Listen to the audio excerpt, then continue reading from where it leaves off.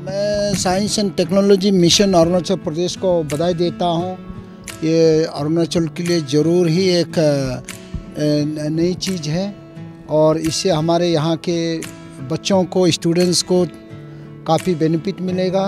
और उम्मीद करता हूँ कि इसका जितना मैक्सिमम बेनिफिट ले सकें। अपार्ट फ्रॉम स्टूडेंट्स इवन आम आदमी भी प्लानिटेरियम में आके और यहाँ जो जो भी बनाया है हब में आके यहाँ बेनिफिट ले सकते हैं। देखिए सरकार जो हमारी सर, वर्तमान सरकार राज्य सरकार जो साइंस एंड टेक्नोलॉजी में ज़्यादा स्ट्रेस दे रहे हैं और we want innovative ideas should come to our young you know talented brains to you know our you know the future. They are the future of the state.